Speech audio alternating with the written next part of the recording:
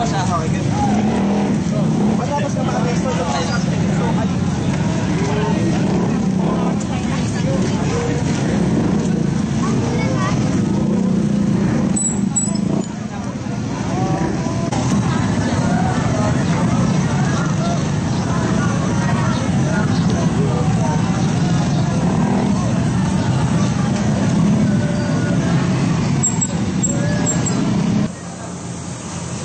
Mo sa opisina. Okay, may, may mga item, may mga items ka dyan sa lugar.